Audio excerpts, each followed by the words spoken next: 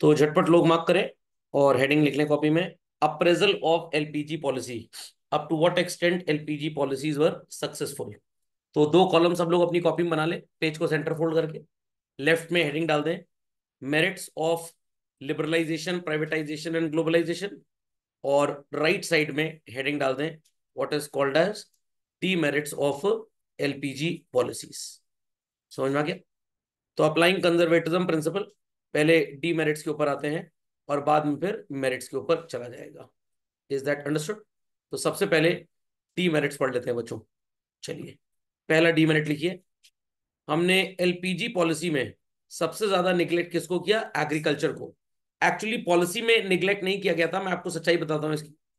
जब Coke and Pepsi जैसी companies को इंडिया में बिज़नेस करने का लाइसेंस मिला तो डॉक्टर मनमोहन सिंह जी ने अपनी पॉलिसी में ये बोला कि जितना कोला कंसेंट्रेट आप इंपोर्ट करेंगे अपने देश से, उतना इक्विवेलेंट अमाउंट ऑफ़ फ्रूट आपको यहाँ से एक्सपोर्ट करना पड़ेगा अपने देशों में, ताकि जो हमारे किसान है, उनका नुकसान ना हो। तो इन कंपनीज़ ने फ्रूट खरीदा तो ज़रूर बट अपने देशों में जहाँ से इंपोर्ट किया था कोला कंसेंट्रेट उसको वहाँ पे एक्सपोर्ट कभी किया ही नहीं, और सारा का सारा नाले में, नदी में, समुद्र में फेंक देते थे लोग। क्योंकि अगर अपनी कंट्री में इसको एक्सपोर्ट कर दिया तो वहाँ पे कोक और पेप्सी की सेल कम हो जाएगी। तो that's why it was a neglect to agriculture sector तो हमारे फ्रूट्स का जो एक्चुअल कंजम्पशन था, वो मछलियों ने किया, लोगों ने बिल्कुल भी नहीं किया। Got it clear so point लिख लीजिए निग्लेक्ट ऑफ़ एग्रीकल्चर और यहाँ से मार्क कर लीजिए। Suffered a serious neglect in its growth, and it slipped down miserably to 2 to 3 percent per annum. बस इतना लिखिए, और कुछ ज़्यादा लिखने की ज़रूरत नहीं है। Be quick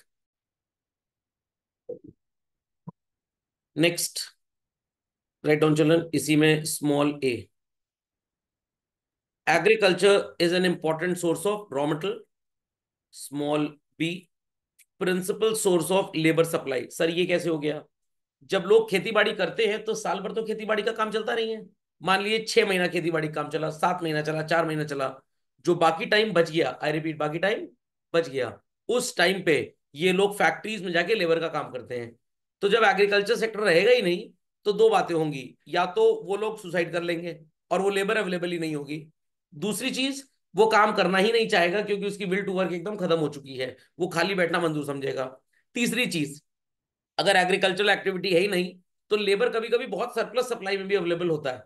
जो चार महीने गाँव में काम कर रहा है, आठ महीने शहर में काम कर रहा है, अब पूरे बारह महीने वो शहर में आ गया। तो लेबर सप्लाई बढ़ने की वजह से क्या होगा बच्चों? The wage rate in the economy will go down is that clear और सी पॉइंट मार्क करिए।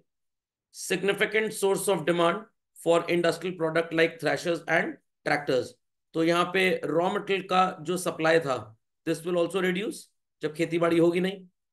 So called labor may increase, but the wage rate will go down. और जब खेती बाड़ी ही नहीं होगी तो क्या लोग ट्रैक्टर वगैरह खरीदेंगे थ्रेशर खरीदेंगे? बिल्कुल नहीं खरीदेंगे। तो इन चीज़ों की डिमांड भी मार्केट में गिर जाएगी।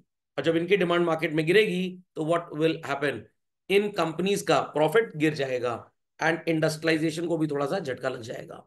तो जब खेती नहीं होगी तो महिंद्रा का ट्रैक्टर नहीं बिकेगा, सोनालिका का ट्रैक्टर नहीं बिकेगा। देर आफ्टर इन चीज़ों की डिमांड कम होने की वजह से इनके प्रॉफिट्स कम होंगे तो it will lead to industrial unemployment as well नहीं समझे बात को? ट्रैक्टर की डिमांड ही नहीं है बाज़ार में। जब ट्रैक्टर की डिमांड नहीं तो ट्रैक्टर बनाने वाली फैक्ट्री क्या 24 घंटे चलेगी? हो सकता है वो एक ही शिफ्ट आठ घंटे भी चले। समझना क्या? सो दिस में लीड टू आप लिख भी लीजिए यहाँ पे industrial unemployment quickly update this चलिए। Urban concentration of the growth process another issue children first point से हाईली क्लोजली कनेक्टेड है। जब ज़्यादा से ज़्यादा लोग रूरल सेक्टर में अनएम्प्लॉयड होंगे तो ज़्यादा ग्रोथ आपको कहाँ पे नज़र आएगी? अर्बन एरिया में या रूरल एरिया में? अर्बन एरिया की ग्रोथ ज़्यादा होगी। सो so, किसी भी मल्टीनेशनल कंपनी की अगर हम बात करें क्या वो रूरल एरिया में अपने प्रोडक्ट्स को बेचना चाहेंगे? फैक्ट्री ज़रूर रूरल एरिया में लगाएँगे क्योंकि लैंड सस्ता मिल जाएगा लेबर सप्लाई चीप होगी। But will they be willing to sell their products और मेक सच प्रोडक्ट्स जो रूरल एरिया को सपोर्ट करे? बिल्कुल भी नहीं क्योंकि उनसे आने वाला रेवेन्यू बहुत कम होगा। तो हमेशा वो चाहेंगे कि हम ऐसे प्रोडक्ट्स बनाएँ जिनको ज़्यादा से ज़्यादा अर्बन एरिया में बेचा जाए। Resulted into rural urban gulf the rural people turn into the state of what is called as poverty, and urban people continued to grow rich, basically. So rural urban gulf implies कि भाई economic dualism हो जाएगा, जहाँ पे गरीब लोग गाँव में ज़्यादा से ज़्यादा होते जाएँगे और रईस शहर में ज़्यादा से ज़्यादा। और गाँव वाले लोग जब शहरों में आएँगे तो उनको लो पेड जॉब्स मिलेंगे वर्कर का हाउस हेल्प का, उनको कभी हाई पेड जॉब मिलेगा ही नहीं। तो जब हाई पेड जॉब उनको मिलेगा ही नहीं, क्या कभी भी रूरल एरिया ग्रो करेगा? ये कभी भी ज़िंदगी में ग्रो करेगा ही नहीं। वॉट इट समझ में आ गया? कॉपी दिस आपने टाटा का तो नाम सुना ही होगा? एचसीएल का नाम सुना होगा? विप्रो का नाम सुना होगा? ये कौन सी कंपनी है? सर टेक महिंद्रा इंडिया में जो चार बड़े दिग्गज माने जाते थे आईटी सेक्टर में, उसमें से एक था टाटा कंसल्टेंसी सर्विसेज़ चिल्ड्रन दूसरा था विप्रो तीसरा था इन्फोसिस और चौथा था सत्यम टेक्नोलॉजीज़ सत्यम टेक्नोलॉजीज़ में एक बार चौदह हज़ार करोड़ का फ्रॉड हो गया था। लोगों को झूठ बोल बोल के बताया गया कि बिज़नेस अच्छा चल रहा है बट प्रैक्टिकली बिज़नेस की बैंड बजी हुई थी। तो राजू रामलिंगन जी की एक कंपनी हुआ करती थी किसी जमाने में, जब ये फ्रॉड में चली गई तो गवर्नमेंट ने सोचा कि अगर इस कंपनी को बंद कर दिया और सपोर्ट नहीं किया तो जो फॉरेन इन्वेस्टर्स का हमारे ऊपर विश्वास है, वो पूरी तरह से खत्म हो जाएगा। इज़ दैट क्लियर तो गवर्नमेंट ने इसको बचाए रखा और आनंद महिंद्रा जी से बात की कि भैया इस कंपनी को खरीद लो। तो उन्होंने सत्यम टेक्नोलॉजीज़ को खरीद लिया और कंपनी बना दी Tech Mahindra. Got it clear तो this is a multinational Mindtree Mphasis is also Oracle is also a multinational. Cyient is also a multinational ये और इसके जैसी सैकड़ों कंपनीज़ इंडिया में 91 के बाद आ गई बेसिकली और मेजोरिटी सबका काम वो बीपीओ का ही था basically third point children the demerit economic colonialism ये क्या होता है sir 200 years of British rule के बाद आज भी इंडिया सो कॉल्ड किसके ऊपर dependent children only and only multinationals आप किसी भी एक सिंगल प्रोडक्ट की बात करिए, जो आप ये बोलेंगे सर ये इंडियन है और ये इंपोर्टेड नहीं है। इधर we talk about mobile phones तो भाई सैमसंग मार्केट को लीड करता है। देन इट इज़ रेडमी और फिर वो रियलमी और उसके बाद एप्पल उसके बाद मोटोरोला इसमें से क्या कोई भी कंपनी ऐसी है बच्चों जो इंडियन है? नो वो माइक्रोमैक्स हुआ करती थी, जिसका मोबाइल इतना बेकार था, घंटी बजे तो चौराहे तक आवाज़ आए और स्पीकर में कान से आवाज़ को खुद ना सुनाई पड़े। समझ में आ गया? तो इतने घटिया प्रोडक्ट सब बनाते थे, सस्ते के चक्कर में इनका प्रोडक्ट को इंडिया में खरीदता ही नहीं था। आप चिप्स की बात कर लीजिए प्रिंगल और लेस का चिप्स आता है आर द इंडियन कंपनी बिल्कुल भी नहीं। तो एक दो चीज़ें, सौ में से अगर आप छोड़ दें तो इंडियन कंपनी ज़रूर बनाती हैं बट 98 परसेंट चीज़ें, कहाँ से आ रही है सब? विदेश से ही आ रही है। इज़ दैट क्लियर अब लोग कहेंगे ना सर, मारुति कार की बात कर लीजिए, क्या बात कर ले भाई? पूरा का पूरा डोमिनेशन किसका है मारुति के ऊपर? सुजुकी का है हुडई की गाड़ियाँ हैं सर महिंद्रा की वो इतनी महँगी गाड़ी आती है, थार, उसको कोई चलाए, वैसे तो गाड़ी देखने में लगती है कि इतनी भयंकर गाड़ी है, भैंस टाइप की कैसे कोई चलाएगा? इज़ दैट क्लियर उसका क्लच इतना भयंकर है, लोगों पैर में पोलियो हो जाए कम से कम। तो क्या कोई भी इंडियन कंपनी कंफर्टेबल गाड़ी बनाती है? बिल्कुल नहीं बनाती है। अगर बना भी दे तो प्राइस इतना ज़्यादा कि कोई एवरेज बायर उसको खरीद ही नहीं पाएगा। फंडामेंटल लॉजिक इज़ क्लियर तो Mahindra is an Indian company Tata is an Indian company but क्या मारुति सुजुकी को कॉम्पीट कर पा रहे नो और कहने को Maruti Suzuki is an Indian company but practically Suzuki का जो डोमिनेंस है, वो उसको पूरा का पूरा जापानीज ही बना देता है। तो विदेशी लोग यहाँ पे सस्ता सामान बेच लेते हैं, जो अपने हिंदुस्तानी वो सस्ता सामान बेच ही नहीं पाते। तो still we are under the colonialism of not British rule rather the rule of multinational children तो कॉपी कर लीजिए इसको। Multinationals are expanding their control and there is some sort of economic colonialism McDonald's की बात कर लीजिए, pizza हट की बात कर लीजिए, डोमिनोज की बात कर लीजिए, इंडिया में सब फ्रेंचाइज ज़रूर है, किसी ना किसी इंडियन पर्सन का। बट अल्टीमेट रॉयल्टी मनी किसको जाता है? अमेरिका में इन्हीं बड़े बड़े बिजनेसेस को बेसिकली गॉट इट और यहाँ पे लोग क्या सोचते हैं? कभी कोई बिज़नेस करने की सोचता ही नहीं है। क्या कहता है? चलो नौकरी पकड़ लें किसी मल्टीनेशनल में। क्योंकि बिज़नेस करने के लिए कम से कम तीन जनरेशन को एफर्ट करना पड़ेगा। तीन जनरेशन एफर्ट करेगी तो जाके मैकडोनल्ड और पिज्जा हट बनेगा। गॉट इट लिख लीजिए फास्ट एक पॉइंट और लिख लीजिए।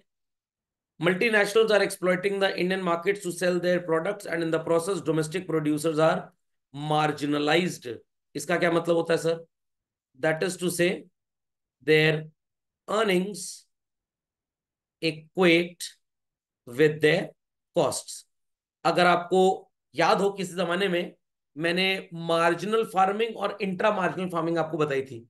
जितना हमारे खेत का आउटपुट है, उतनी तो हमारी पूरी पूरी लागत लग जाती है। तो हमें बचता कुछ भी एक्स्ट्रा नहीं है। इंट्रा मार्जिनल लैंड कौन सा होता है? जिससे आउटपुट इतना निकले कि कॉस्ट कवर करने के बाद भी कुछ सरप्लस बच जाए।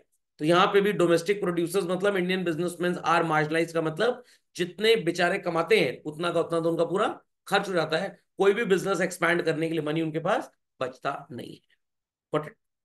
चलते हैं अगले पॉइंट पे चलें title as spread of consumerism अब ये क्या होता है? वही एलेक्सांटी इतना ज़्यादा हम लोगों को प्रोडक्ट्स के बारे में अवेयर कर देते हैं कि लोगों को लगता है कि एलेक्सा जैसी डिवाइस अगर घर पे नहीं है या फ़ूड प्रोसेसर नहीं है तो लोग मोहल्ले में हमें पिछड़ी जाती है हम जनजाति मान लेंगे और कहीं मोहल्ले से बाहर ना निकाल दें। एडवर्टाइजमेंट दिखा दिखा के इतनी भयंकर डिमांड क्रिएट कर देते हैं कि लोगों को लगता है कि यही सब कुछ है। खोपड़े में बात गई? नहीं समझ में बात। समझ में आ गया। तो spread of multinational in the country as a consequence of LPG policy has resulted into large scale consumerism ये तो जो आपकी हेडिंग थी, उसी को थोड़ा सा अंग्रेज़ी में और अच्छे से ट्रांसलेट कर दिया गया है। So variety of global brands has induce the masters to become spendthrift going beyond their means इसका क्या मतलब होता है, सर?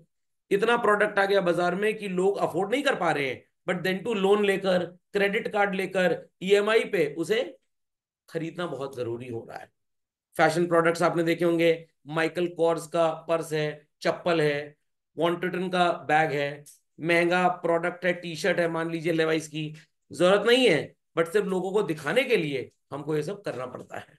मतलब मेरे को नहीं करना पड़ता, आपको नहीं करना पड़ता, बाकी लोगों को ये करना पड़ता है, जिनके पास अकल कम है थोड़ी सी। समझ आ गया? और जो अकलमंद लोग हैं, वो सरोजनी चले जाते हैं और वहाँ से लेवाइस की फ़र्स्ट कॉपी सेकंड कॉपी खरीद लाते हैं। क्योंकि कोई साइकिल से चलने वाला अगर लेवाइस की ओरिजिनल टी शर्ट भी पहनेगा तो लगेगा कहाँ से खरीदी है? सरोजनी से खरीदी है। और अगर कार से चलने वाला सरोजनी वाली पहन लेगा तो लगेगा ओरिजिनल ही खरीदा होगा। इज़ दैट क्लियर तो इंडियन सोसाइटी इज़ अडेप्टिंग गलत है चिल्ड्रन इज़ कॉपिंग और इमिटेटिंग अडेप्टिंग नहीं होगा। अडेप्ट तो अच्छी चीज़ों किया जाता है। The western culture of spending through borrowing तो हमारे देश में था, हमारे दादाजी बोला करते थे कि बेटा, जितना चादर हो पाओ, उतना ही फैलाओ। बाहर पैर निकल गया, या तो जुकाम लग जाएगा तो मच्छर काट लेगा। बट आज के लोग क्या है, अरे चादर गई भाड़ में, हम बिना चादर के सुझाएँगे तो कहने का मतलब खर्चा लोग इतना करते हैं जितनी उनकी कमाई भी नहीं होती है। सिर्फ़ और सिर्फ़ किस पर्पज के लिए? शो ऑफ़ करने के लिए। वॉट इट क्लियर तो मार्केट का साइज़ तो एक्सपैंड कर रहा है बच्चों बट क्या इस एक्सपेंशन से रियलिटी में कोई इकोनॉमिक ग्रोथ हो रहा है? नहीं होगा तो अगर आप पैसे खर्च करके घर में एक झाड़ू खरीद के लाते हैं तो वो फ़ायदा देगा। आप पैसे खर्च करके एक ज़मीन खरीद लेते हैं तो फ़ायदा देगा। उस ज़मीन पे घर बनवा लेते हैं हॉस्टल बनवा देते हैं बिज़नेस करते हैं तो फ़ायदा देगा। बट अपने घर में फालतू में अलेक्सा की डिवाइस खरीद ली। मिक्सर ग्राइंडर से काम चल रहा था फ़ूड प्रोसेसर खरीद के ले आए। एसी ऑलरेडी विंडो लगा हुआ था, पड़ोसी को देखना, उससे स्प्लिट एसी खरीदा आवाज़ कम करता है, हम भी स्प्लिट खरीद लेंगे। अरे विंडो एसी सही है गड़गड़ कर रहा है तो नींद थोड़ी टूटती रहती बीच बीच में, कम से कम चोर चोरी करने तो नहीं आएगा। स्प्लिट एसी में घरों में चोरियाँ ज़्यादा होती हैं। बातें समझ में आ रही है, चले, चलिए। चप्पल ठीक चल रही थी ऑफ़र लगा था वन प्लस वन का तो हम टू प्लस टू फोर खरीद लिए। समझ में आ गया, ज़्यादा चप्पल से भी नुकसान है घर में। जितनी चप्पलें हैं, सबने पहनी है तो चलो ठीक है। एक्स्ट्रा पड़ी है तो किसी ने पड़ जाएगी, कोई ना कोई। तो क्या घर में एक्स्ट्रा चप्पल होनी चाहिए? बिल्कुल नहीं होनी चाहिए। समझ में आ गया स्प्रेड ऑफ़ कंज्यूमरिज्म का मतलब? Fifth point children lopsided growth मतलब पेंट में बेल्ट लगाने के लिए जो लूप लगा होता है, उसकी ग्रोथ हो रही है? No lopsided growth process का मतलब कुछ सेक्टर तो बहुत ज़्यादा ग्रो कर जा रहे हैं और कुछ सेक्टर एकदम पिछड़े जा रहे हैं। दैट इज़ इन इक्वालिटीज हो रही है चिल्ड्रन ग्रोथ की। Have people copied fourth point fourth point copy कर लिया भाई। एवरीबडी ये इमिटेटिंग वाला पॉइंट कॉपी कर लिया। कॉपिंग वर्ड या इमिटेटिंग वर्ड लिखिएगा अडेप्टिंग मत लिखिएगा। अडेप्टिंग मेरे को ठीक लग नहीं रहा है क्योंकि। सो लूप साइडेड का मतलब क्या है? There is not inclusive growth process कुछ एरियाज़ हैं जो ग्रो कर ज़रूर रहे हैं। एंड वो कौन सा एरिया है? सर्विस सेक्टर क्यों ऐसा है भाई? क्योंकि भाई आप जब प्रोडक्ट खरीदते हैं तो आपको सर्विसेज़ चाहिए। कि भाई हम इस प्रोडक्ट को कैसे यूज़ करेंगे वगैरह वगैरह वगैरह। तो कॉल सेंटर पे नौकरियाँ बढ़ रही हैं। बट एग्रीकल्चर सेक्टर एकदम नीचे जा रहा है। जब एग्रीकल्चर सेक्टर काम नहीं करेगा, जूट नहीं बनाएगा वीट नहीं उगाएगा तो आगे जो इन प्रोडक्ट्स को पैक करके बाज़ार में बेचते हैं, क्या इनको रॉ मटेरियल मिलेगा? नहीं मिलेगा। एग्रीकल्चर पुअर हुआ तो ऑटोमेटिकली महिंद्रा वालों ने सोचा ट्रैक्टर की सेल कम हो रही, चलो कार बनाना स्टार्ट करते हैं। कार बनाएँगे तो लोग वो भी कार खरीदेंगे, जिनको कार की ज़रूरत भी नहीं है। किस लिए? सिर्फ़ शो ऑफ़ करने के लिए। तो अगर आप कभी अमेरिका जाएँ तो आपको नहीं नज़र आएगा कि वहाँ पे ढेर सारे लोग दस हज़ार डॉलर पर एनम कमा रहे हैं। ऐसे लोग आपको बहुत ज़्यादा सॉरी पर मंथ कमा रहे हैं। बहुत ज़्यादा नज़र नहीं आएँगे। मेजोरिटी वो चार हज़ार, पाँच हज़ार डॉलर वाले होते हैं। बट इंडिया में आपको एक सेक्टर ऐसा मिलेगा जो बहुत पैसा कमा रहा है। सिर्फ़ उनको कॉम्पीट करने के लिए दूसरा सेक्टर सो कॉल्ड स्पेंडिंग करेगा अपनी औकात से ज़्यादा। आईफोन खरीदने की हैसियत नहीं है। अमेजोन पे सर मिल रहा था ईएमआई पे। और ईएमआई का रेट ऑफ़ इंटरेस्ट क्या है? सोलह परसेंट। तो पहले तो एक लाख का मोबाइल जिसकी खरीदने की औकात नहीं थी, वो खरीदे।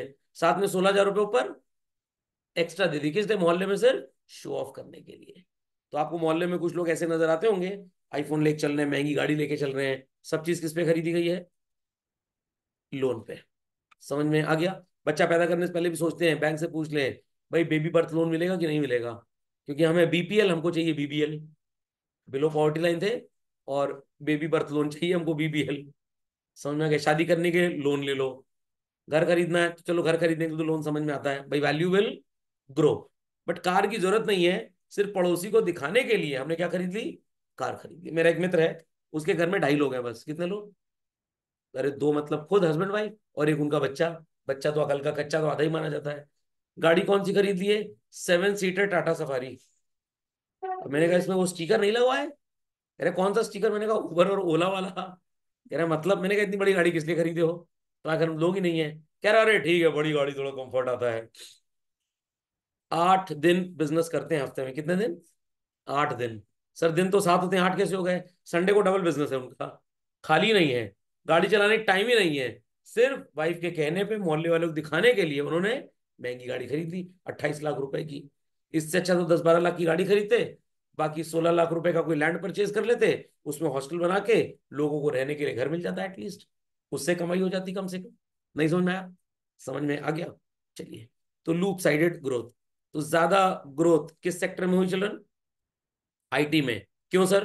क्योंकि IT is directly related with what services children Khopde में बात गई। तो नज़र आ रहा है कि देश ग्रो कर रहा है बट रियलिटी में इंडस्ट्रियलाइजेशन जो हमारा है, ये ग्रो नहीं कर रहा चलन, ये फॉल कर रहा है। और सो कॉल्ड फ़ार्मिंग सेक्टर तो ये एकदम ही वर्स्ट पोजीशन पे आ गया।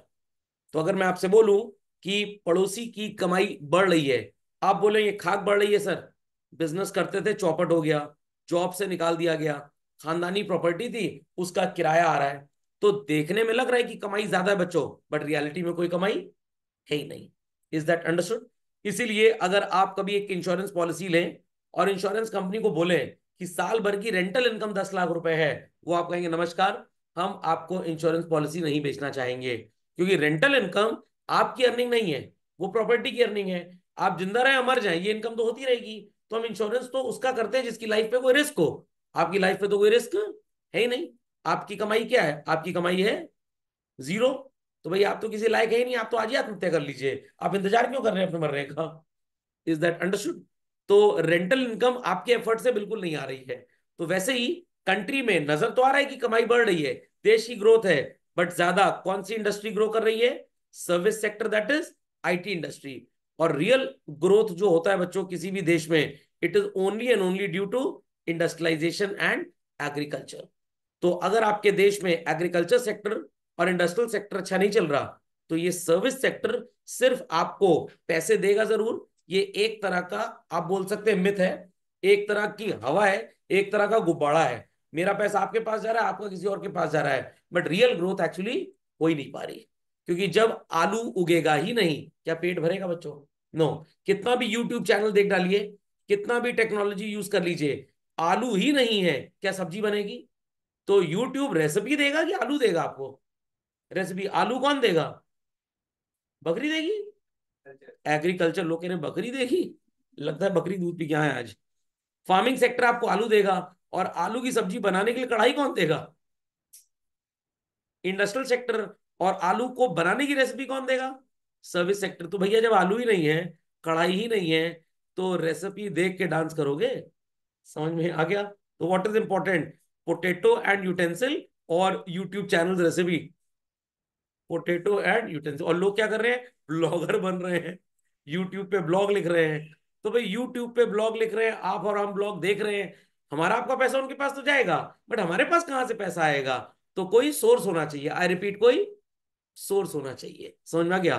तो सर, अगर ये हरकतें बढ़ती जाएँगी तो होगा क्या? एक दिन बम्पार्ट इन्फ्लेशन हो जाएगा देश में। क्यों? फ़ार्मिंग है नहीं इंडस्ट्रियलाइजेशन है नहीं। सर्विस सेक्टर को सपोर्ट करने के लिए आपको पैसा कहाँ से मिलेगा? आप लोन लेंगे जाके। बट क्या आप इस लोन को रीपे कर पाएँगे? नहीं रीपे कर पाएँगे।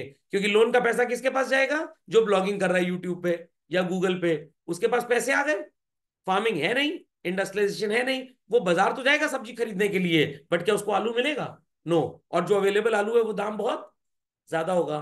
कढ़ाई का दाम भी बहुत ज़्यादा होगा। तो एक दिन इन्फ्लेशन भयंकर हो जाएगा बट चीज़ें अवेलेबल होंगी ही नहीं। इज़ दैट क्लियर बट लोग सो रहे हैं, लोग लेट हो गए हैं, इसलिए समझ कहाँ पाएँगे। कॉपी चिल्ड्रन समझ में आ गया? समझ में आ गया भाई? गॉट इट क्लियर चलिए फर्दर मार्क कर लीजिए children so owing to liberalisation and globalisation Indian farmers shifted the production of cash crops for foreign markets. So, moral of the story is this. पहले वो कैश क्रॉप्स का production जब India में करते थे तो भाई उनकी कमाई बहुत होती थी। अब उन्होंने भी क्या किया? अपने खेत बेचना स्टार्ट कर दिए। फॉरनर्स ने उनके खेतों पे या तो अलग तरीके का आउटपुट प्रोड्यूस करने की बात की या वहाँ पे बना लिया पूरा का पूरा वेयर हाउस फॉरन कंट्री में सामान बनाते हैं। रॉ मटेरियल के नाम पे यहाँ पे इंपोर्ट कराते हैं इंडिया में और उसको उसी फार्मर की ज़मीन पे वेयर हाउस बना के स्टोर कर देते हैं। तो असली कमाई कौन करेगा? फॉरनर या इंडियन फॉरनर हमारे वाले क्या कह रहे हैं? ज़मीन बेच दो और उसके ऊपर बन जाएगा एक एमबीए कॉलेज और वहाँ से निकलेंगे कौन? महाबेकार आदमी। एम समझ में आ गया? और कुछ ब्रेन टेक्निकली एम्पटी लॉजिक समझ में आ गया? So force to import food grain in spite of green revolution तो ग्रीन रेवोल्यूशन जब आई थी 1965 की इंडो पाक वॉर के बाद चल रहे हमने अपने लिए तो सेल्फ सफिशिएंट फ़ूड उगाया ही उगाया as well as specialised in exports as well but आज की तारीख में काफ़ी चीज़ों का हमको इंपोर्ट करना पड़ता है। तो क्या हमारे ग्रीन रेवोल्यूशन का कोई फ़ायदा हुआ? No no. क्योंकि हमारे लोग क्या कर रहे हैं? यूट्यूबर बन रहे हैं ब्लॉगिंग कर रहे हैं पबजी खेल रहे हैं। तो जितना ज़्यादा खेलेंगे पबजी, उतनी कम अवेलेबल होगी इंडिया में सब्ज़ी। समझ में आ गई बात भाई? लिख लें इसको झटपट फास्ट कल्चरल एरोजन इसकी तो बैंड बजी गई है। जिस देश के ऊपर यूएस का डोमिनेंस आया, वहाँ के लोग गैया, बकरी, भैंस बन जाते हैं। सर मतलब कपड़ा कम पहनने लग जाते हैं। इज़ दैट क्लियर कभी कभी ऐसा भी होता है कि पंद्रह बीस साल के बच्चे छह और सात साल के बच्चों के कपड़े पहन रहे हैं। और कहते हैं, फ़ैशन है। तो मैं कहता हूँ, भाई, हमारे मोहल्ले में एक मुन्ना गाय वाला है, उसकी गैया सबसे ज़्यादा फैशनेबल है। फटे चीथड़े बोरे पहनी रहती है वो। तो कुछ लोग सोचते हैं कि फटी पैंट पहनना, चीथड़े कपड़े पहनना इज़ फ़ैशन। तो भाई, वो मंदिर, मस्जिद, चर्च, गुरुद्वारे के बाहर जो भिखारी बैठता है और इन फैशनेबल लोगों में सिर्फ़ कटोरे के अलावा कोई फ़र्क नहीं है। तो इनको भी वो कटोरा ले लेना चाहिए। तो मैंने पहले ही बता दिया, जिस जिस देश में यूएस का प्रकोप बढ़ेगा, वहाँ के लोग बहुत गरीब हो जाएँगे। Fundamental logic is clear fundamental logic is clear समझ में आ गया? चलिए। तो कुछ समय बाद हो सकता है कि कपड़े का पेंट करा लें बॉडी में। खोपड़े में बाद में स्प्रे पेंट होगा शर्ट वाला पेंट हो गया पेंट वाला पेंट हो गया। चलिए भाई। So A point children economic prosperity has taken a lead over parameters of life ये क्या होता है सर हम उन चीज़ों पे खर्च करते हैं जिसकी हमको कोई ज़रूरत नहीं है। तो उन चीज़ों से देखने में तो लग रहा है कि प्रॉस्पेरिटी रही है स्टैंडर्ड ऑफ़ लिविंग बढ़ रहा है। But that is what called as fake standard of living children what fake standard of living पोपड़े में बात गई? पोपड़े में बात गई? पक्का? कुछ जनरेशन तो ये सोचती है कि पढ़ाई लिखाई अब बहुत हो गई, अब इससे ऊपर औकात है नहीं पढ़ने की। तो माता पिता को बाईस साल उम्र होगी, अब शादी कर दें। कोई करियर की सोच ही नहीं है। कैसे पैसे आएँगे? मतलब ही नहीं है। चार किट्टी पार्टी लेडीज़ ज्वाइन कर लेंगी, जेंट्स लोग शेडो क्लब ज्वाइन कर लेंगे, जितना पैसा कमाएँगे, सिर्फ़ सोसाइटी को दिखाने के चक्कर में वहाँ जाके बर्बाद कर देंगे। और जो बेचारा इन सब चीज़ों से दूर है, उसको इंडिया में देहाती बोल दिया जाता है। अजब गजब टाइप के लोग हैं। और असली पैसा उसी के पास है। जो बेचारा सुबह छह बजे काम पे निकल लिया, उसको कहते हैं गरीब टाइप का आदमी है। समझ में आ गया? या हपशी टाइप का आदमी ऐसे ऐसे लोग बोलने लग जाते हैं। तो कुछ समय तक तो वो इंसान झेलता है। और बाद में फिर सरकार से कहता है, भैया जरा बंदूक की शुगर दो, पहले इनको निपटाऊ मैं जरा। यही मेरे काम में आड़े आ रहे हैं। तो it is all fake behaviour चल रहा है समझ में आ गया? स्पेशली संडे को ऐसे सज धज के जाएँगे जैसे दूसरी तीसरी शादी हो रही है। काफ़ी हमारे मोहल्ले में आंटी लोग इस तरह निकलती हैं। और शाम को स्पेशली रेस्टोरेंट जाएँगे सज धज के, जैसे बेटे की पहले ही शादी हो चुकी है। अरे, खाना ही तो खाने जाना है। एक पैजामा पहन लो, एक टी शर्ट पहन लो, चप्पल ओढ़ लो। और जेब में पैसा रख लो ज़रूर, नहीं तो बर्तन मांगना पड़ेगा। फिर रेस्टोरेंट में जाके फ़ोटो खिंचाएँगे और पूरे फेसबुक पे इंस्टाग्राम पे, ढाई सौ ग्राम पे पूरे मोहल्ले को बता देंगे। और पहले तो घर से निकलते समय बता देंगे, ताकि चोर जो उनको फॉलो कर रहा है फेसबुक पे, उसको पता लग जाए कि मेरे पास चोरी का कितना टाइम है। इज़ दैट अंडरस्टूड तो एक दो चोरों को जब पकड़ा गया, उनसे पूछा गया, आपको कैसे पता लगा? कह रहे इनको फेसबुक पे फॉलो करते थे। ये जहाँ जाते थे अपडेट करते थे going to Manali for five days इनका घर पाँच दिन के लिए खाली है, उनका बिज़नेस आपका घर खाली, उनका बिज़नेस की हो गई सो कॉल्ड नॉन बदाली चलिए, समझ गए?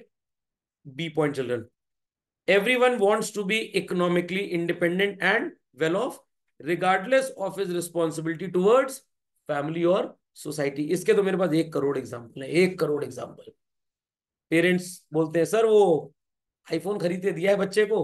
तो थोड़ा सा, सर डिस्काउंट डिस्काउंट मिलेगा क्या? आईफोन खरीदने की औकात नहीं थी, तब भी बच्चों को खरीद के दे दिया। इज़ दैट अंडरस्टूड चप्पल कौन सी कंपनी खरीदेंगे? प्यूमा की। अरे, कितने की? सर, बड़ी सस्ती थी, सर। वन ट्रिपल नाइन की थी, सर। और मिंत्रा पे मिडनाइट सेल आई थी, सर। और ट्रिपल नाइन की मिली। ए भगवान। अरे भैया, लखानी की चप्पल खरीद लो। ये वन फोर्टी नाइन की आती है। समझ में आ गया? और बच्चे के पैर को या नारकली के पैर तो है नहीं। जो ज़मीन पे पड़ेंगे तो ज़मीन खराब हो जाएगी। तो चाहे आप प्यूमा की ट्रिपल नाइन की चप्पल पहनिए चाहे लखानी की चप्पल पहनी है, कोई फ़र्क पड़ेगा? नो लोग कहते हैं, सर कंफर्ट नहीं है। प्यूमा में ज़्यादा कंफर्ट है। चप्पल है, सोना थोड़ा इसके ऊपर। चप्पल है ही किस लाइक की जो कंफर्ट होगा? पंद्रह से बीस मिनट एटा स्ट्रेच पहननी है। Is that clear is that clear और मेजोरिटी घरों में तो चप्पल घर के बाहर ही उतार दी जाती है, वो अंदर आती नहीं। पता लगा प्यूमा की चप्पल खरीदे तो कोई बाहर से पार करके ले गया। समझ में आ गया? और फिर वो ओ में सेकेंड हैंड उसको बेच रहा है थ्री नाइनटी नाइन की। तो अगेन लोग पारिवारिक जिम्मेदारियाँ पूरी तरह से भूल चुके हैं, क्योंकि अपने खर्चे इतने बढ़ा लिए हैं, वही मरे पूरे नहीं पड़ते तो हम परिवार को क्या देंगे? Is that understood is that understood बच्चे को पढ़ाने के लिए ले लिया एजुकेशनल लोन बच्चा इंस्टॉलमेंट पे करेगा, दस साल पढ़ने के बाद भी, क्या कभी भी इकोनॉमिकली वेल ऑफ़ हो पाएगा? बिल्कुल नहीं हो पाएगा, क्योंकि जब फैमिली का बचाने का टाइम था, दोनों हाथों से एकदम उड़ा उड़ा के खर्च किया है। तो जब अब खर्चे की बवंडर आया, कोई बात नहीं, लड़का है तो भाई शादी होगी लड़की से ही, दहेज मांग लेंगे। इज़ दैट क्लियर तो वहाँ पे भी प्रताड़ित कर रहे हैं। So loyalty towards family and loyalty towards society which used to be the stronghold of Indian social culture are being discarded children वही बी पॉइंट का सो कॉल्ड कंटिन्यूएशन है। आप एक साथ भी इसको लिख सकते हैं। समझ में आ गई बात? समझ में आ गई बात? लिख लीजिए झटपट फास्ट तो पहले मेरिट्स देख लें, फिर बताते हैं which wish we should go children चलिए तो लेफ़्ट कॉलम में आपने खांचा बनाया था किस चीज़ के लिए? मेरिट्स के लिए. वाइब्रेंट इकोनॉमी सर मतलब हर इंसान का मोबाइल फ़ोन वाइब्रेटर मोड पे साइलेंट मोड पे रहेगा? नहीं भाई. वाइब्रेंट इकोनॉमी का मतलब आपको आठ प्रतिशत का ग्रोथ तो मिलेगा बट ये ग्रोथ किस वजह से? मैंने आपको अभी डी मेरिट्स में दिखा दिया. सर्विस सेक्टर के ग्रो होने से ग्रोथ मिल रही है. बट जो रियलिटी में एग्रीकल्चर और इंडस्ट्रियलाइजेशन का ग्रोथ होना चाहिए था, उसकी वजह से ग्रोथ बिल्कुल भी नहीं मिल पा रही है।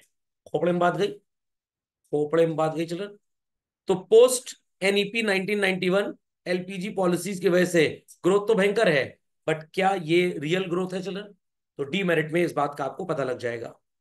सर आप तो कह रहे थे इंडस्ट्रियल प्रोडक्शन ज़्यादा नहीं है, मैं भी बता रहा हूँ ज़्यादा नहीं है साफ़ साफ़ यहाँ पे लिखा भी हुआ है। LPG policies has worked as a great stimulant to industrial production. But so called industrial production कौन सा? आईटी इंडस्ट्री को तो ग्लोबल रिकग्निशन मिल गया। एक प्रोडक्ट बता दीजिए जो इंडिया में मैन्युफैक्चर होता हो और वर्ल्ड वाइड बिकता हो बच्चों। एक नाम दे दीजिए बस। है कोई नाम आपके पास? अगर आप नाम देंगे भी तो आपको मेरे को यह बताना पड़ेगा कि क्या ये एक इंडियन मैन्युफैक्चरर है? नहीं सर इंडियन तो कोई भी नहीं है। कार्स एक्सपोर्ट होती हैं ऐसे किस कंपनी की? हुंडई की। मारुति की। ठेंगा मारुति कार एक्सपोर्ट होती है। एक कार नहीं एक्सपोर्ट होती मारुति की। सारी की सारी कार एक्सपोर्ट होती है in the name of Suzuki Motors. जितनी गाड़ी मारुति के प्लांट में बनती है, वो सुजुकी मोटर्स के नाम पे एक्सपोर्ट होती है। मारुति के नाम पे कोई एक्सपोर्ट होती ही नहीं है बेसिकली तो none of the Indian manufacturers are of the viewpoint जो यहाँ से चीज़ें बन के जाए। कपड़ा तो सर यहाँ से एक्सपोर्ट होता है, बिल्कुल। बट यहाँ पे प्लांट किसने लगाया है? केल्विन क्लेन वालों ने लगाया है। ये प्लांट उन कंपनीज़ के हैं जो इटली में महँगा कपड़ा बनाती हैं। इंडिया में इनके पास लेबर सस्ता है फैब्रिक सस्ता है, इसलिए इंडिया में प्लांट खोल लिया, यहाँ से कपड़ा बनाया और दूसरे देशों में एक्सपोर्ट कर दिया। तो ultimately they are not the Indian manufacturers they are the global manufacturers for whom India is a cheap industrial hub that's why they come to India तो अल्टीमेटली प्रॉफिट यहाँ नहीं हो रहा है, कहाँ हो रहा है? विदेश में हो रहा है। क्योंकि यहाँ पे बताते हैं कि भाई हमारी कॉस्ट ऑफ़ प्रोडक्शन लेटेस्ट से सौ रुपए है, और हमारी जो सेलिंग प्राइस है, ये एक सौ पाँच रुपए है। तो भैया पाँच रुपए कमाया, लो इस पे टैक्स ले लो। और असलियत ये है बच्चों, ये सौ रुपए का प्रोडक्ट जिस देश में जाना होता है, उस देश में जाने से पहले इसके ऊपर नया एमआरपी का स्टिकर लगता है, और हमारी गवर्नमेंट को एमआरपी कम बताई जाती है, ताकि वहाँ जाके इनके प्रॉफिट्स ज़्यादा हो जाए। मैनी टाइम ऐसा भी है, मान लीजिए इंडिया से एक्सपोर्ट होना है इटली तो बीच में प्रोडक्ट को दुबई के पोर्ट पे रोका जाएगा, वहाँ पे इस पे स्टिकर्स लगाए जाएँगे और फिर ये आगे इटली जाएगा, ताकि रियल प्राइस इंडियन गवर्नमेंट से छुपाई जा सके due to taxation issues due to excise duty खैर नहीं लगती एक्सपोर्ट इम्पोर्ट ड्यूटी की वजह से चलन तो ये बहुत बड़ा खेल होता है इंडिया में। और हमारी जो सरकार है, वो डपोर्सन टाइप की है, उनके अंदर इतनी अकल है ही नहीं, क्योंकि उनको तो वो चार सौ पार, तीन सौ पार, यही सब चल रहा है उनका। मंदिर बनवा लें, मस्जिद तोड़वा दें, समझ में आ गया, चर्च बनवा लें। अब चर्च में सब लोग व्हाइट कपड़ा नहीं पहनेंगे येलो कपड़ा पहनेंगे, और फिर दिखाएँगे इंडस्ट्रियलाइजेशन बढ़ गया यही सब पागलबंदी चलती है अपने देश में। खोपड़े में बात गई? खोपड़े में बात गई? चलिए। कॉपीड फ़र्स्ट पॉइंट चलो। सेकंड भी कॉपी कर लिया। चलिए, लिखिए इसको। थर्ड पॉइंट फ़िज़िकल डेफिसिट लोग कहेंगे, सर, ये क्या होती है? आपको फ़िज़िकल डेफिसिट का मतलब नहीं पता क्योंकि अभी आपने गवर्नमेंट बजट मैक्रो में नहीं पढ़ा। जब भी हमारे देश की कमाई, जिसे क्या बोलते हैं हम लोग? Public revenue falls short of हमारे देश में होने वाला खर्चा सरकार के हाथों के द्वारा। Is called as what children public expenditure second point copy कर लिया सबने? जब भी बच्चों पब्लिक रेवेन्यू हमारा कम हो जाता है और पब्लिक एक्सपेंडिचर ज़्यादा हो जाता है। तो सो कॉल्ड इसे हम बोलते हैं what is called as deficit तीन तरह की होती है। एक होती है प्राइमरी डेफिसिट एक होती है फ़िज़िकल डेफिसिट समझ में गया एंड मेनी टाइम्स टैक्सेशन से भी ये इशू रिलेटेड होता है। हम इसको रेवेन्यू डेफिसिट भी बोलते हैं। तो ध्यान से सुनिएगा मेरी बात। रोज़मर्रा के खर्चे ज़्यादा और रोज़मर्रा की कमाई कम। इस डेफिसिट को क्या बोलेंगे? रेवेन्यू डेफिसिट अब इसको पूरा करने के लिए आपके पास दो हथकंडे हैं। कौन से दो हथकंडे हैं? या तो आप बोरो कर लीजिए। क्या कर लीजिए? बोरो और या तो नया सो कॉल्ड करेंसी बना लीजिए। अगर करेंसी ऑलरेडी हमारी कंट्री में ऑप्टिमम है और आपने अपनी कमी को पूरा करने के लिए करेंसी छाप ली तो देश में करेंसी बढ़ेगी। उन लोगों तक पैसा पहुँच सकता है जिनको पैसे की कोई ज़रूरत नहीं है। और वो रईस कम्युनिटी सस्ती चीज़ों को भी महँगे दाम में खरीद सकती है। तो it will lead to what children inflation तो क्या गवर्नमेंट को ये काम करना चाहिए? बिल्कुल नहीं करना चाहिए। तो वेस्टर्न कंट्रीज़ में डेफिसिट फाइनेंसिंग का मतलब होता है printing of more currency but Indian context में इसका मतलब है बोरोइंग तो हम बोरो कर लेते हैं। इज़ दैट क्लियर अब रोज़मर्रा के खर्चे ज़्यादा, रोज़मर्रा की कमाई कम तो रेवेन्यू डेफिसिट ऐसा ही एक कॉन्सेप्ट है। अब जब ये आप पढ़ेंगे गवर्नमेंट बजट तो मैं और फोकस कर पाऊँगा आपको। आप इसको पूरा करने के लिए क्या करेंगे? बोरो करेंगे। और बोरो फ्री में तो आप करेंगे नहीं भैया। क्या देना पड़ेगा एक्स्ट्रा इंटरेस्ट उस इंटरेस्ट एलिमेंट को जब हम कंसिडर कर लेंगे तो प्राइमरी और फ़िज़िकल डेफिसिट बन जाते हैं चिल्ड्रन सो फ़िज़िकल डेफिसिट का मतलब यही है, आप सिंपल भाषा में समझ लें कि हमारी जो उधारी है, वो दिन बर दिन बढ़ती जा रही है। इज़ दैट क्लियर क्यों बढ़ती जा रही है? क्योंकि जो हमारे बिजनेसमैन है, उनको सपोर्ट करने के लिए हमको पैसा लेंड करना पड़ रहा है। तो उनको पैसा देने के लिए हमको कहीं से बोरो करना पड़ रहा है। तो फ़िज़िकल डेफिसिट हमारा किसी जमाने में बढ़ गया था। बट जब ये कंपनीज़ विदेश से इंडिया में आई तो पैसा लेके आई। और काफ़ी हमारे इंडियन बिजनेसमैन को इन विदेशी कंपनियों में रॉ मटेरियल या स्पेयर पार्ट सप्लाई करने का मौका मिला। तो उन कंपनीज़ का भी थोड़ा सा बेनिफिट हुआ है children but ultimately long run में अगर देखा जाए तो विदेशी कंपनी ज़्यादा कमाएगी। Indian supplier of raw material comparatively कम कमाएगा। Fundamental logic is understood well so physical deficit कहाँ साढ़े आठ प्रतिशत हुआ करता था? जो गिर के कितना हो गया? साढ़े तीन। तो विदेशों के आने से इंडियन बिजनेसमैन को थोड़ी सी राहत तो मिली है बट अगर वो प्राइमरी मैन्युफैक्चरर नहीं बन जाते तो प्रॉफिट अल्टीमेटली हमारा फॉरेन काउंटर पार्ट ही कमा के ले जाएगा। समझ में आ गई बात चलन समझ में आ गई बात? Everybody copied the second point चलिए। ये चेक ऑन इन्फ्लेशन कैसे सर 11 12 और 13 14 से लेकर इन्फ्लेशन का रेट 6.9 था। ऐसा क्यों सर क्योंकि इस दौरान भी हमारी कंट्री में उतने गुड्स एंड सर्विसेज़ अवेलेबल नहीं थे जितनी डिमांड थी। तो जो अवेलेबल था that use to be sold at a very high price 14 15 के बाद जब हमारी मोदी जी की सरकार आई एंड डेफिनेटली ये इस गवर्नमेंट की पीठ पीछे तारीफ़ है कि भाई ये लोग थोड़े फास्ट हैं और ये बिज़नेस को बड़ा बढ़ावा देना चाहते हैं। तो इन्होंने थोड़ा सा इंडस्ट्रियल प्रोडक्शन को बढ़ाया चल रहा गुजरात का आपने गिफ्ट सिटी सुना होगा चिल्ड्रन इंडिया का सबसे बड़ा इंडस्ट्रियल हब है चिल्ड्रन इसकी वजह से फॉरेन कैपिटल तो आया ही आया और इंडिया में जो बिजनेसमैन है, उनको भी काफ़ी प्रमोट किया गया। तो एज अ रिज़ल्ट इन्फ्लेशन की वजह से क्या हुआ? रेट ऑफ़ इंटरेस्ट बढ़ गया, जिससे बिजनेसमैन की कॉस्ट ऑफ़ इन्वेस्टमेंट बढ़ गई। उतना नुकसान नहीं हुआ, क्योंकि हमने इस प्रोडक्ट को जब मार्केट में सेल भी किया तो प्राइस बढ़ा के सेल किया। क्योंकि मार्केट है, इसलिए बिक गया। बट क्या एवरेज इंडियन इन चीज़ों को महँगे दाम पे खरीद पाएगा? तो ये एक तरह का डीमेरिट भी है चल रहे हैं। बट अगेन 18 19 तक हमने इतना पैसा इन इंडस्ट्रियलिस्ट को दे दिया, इतने कम रेट ऑफ़ इंटरेस्ट पे दे दिया तो जो इन्फ्लेशन का कॉन्सेप्ट था, ये ऑटोमेटिकली कंट्रोल हो गया। Are people getting this point तो यहाँ पे गलत इंटरप्रेट मत करिएगा। ये जो लाइन लिखी हुई है चिल्ड्रन इसके नीचे ये पैराग्राफ है ओके okay? और इसकी वजह से this all have been controlled basically third point copy all consumer को चॉइस मिल गई had there be no so called globalisation children क्या फॉरेन प्रोडक्ट्स इंडिया में आते? No no. तो सर आए भी तो कौन फ़ायदा हुआ? हाँ ठीक है, फ़ायदा थोड़ा कम हुआ but again you got a choice नहीं तो वही पजामा, लुंगी, धोती, यही सब चलता। अब पता लगा एक आदमी तीन मीटर का पैजामा है, लुंगी पहना हुआ है। इतने में तो तीन लोगों के लिए ट्राउज़र बन जाए। तो यहाँ पे थोड़ा मैं ग्लोबलाइजेशन को सपोर्ट करता हूँ। इंडियंस आप कभी जयपुर जाइए, वहाँ के किले में देखिए, वहाँ के राजा महाराजा जो कपड़े पहनते थे। एक एक राजा महाराजा इतना कपड़ा पहनता था, इतने पूरे परिवार का कपड़ा बन जाए। तो ये थोड़ा ग्लोबलाइजेशन का फ़ायदा हुआ है। वो लहंगा पहन लेते थे राजा साहब भी, चौड़े घेर वाला एकदम। पता लगा छह मीटर का इनका लहंगा ही है। इतने में तो छह ट्राउज़र आ जाएगी पूरे परिवार की कम से कम। So consumers got a choice and large variety of goods are made available to them children अब इसी लार्ज वैरायटी के चक्कर में कंज्यूमरिज्म भी थोड़ा सा बढ़ता जा रहा था और वो देश के लिए नुकसानदायी साबित हो रहा था। समझ में आ गई बात चला? चलिए remaining we'll be doing in the next lecture which will finish off this chapter and we'll switch off this and switch on to Mac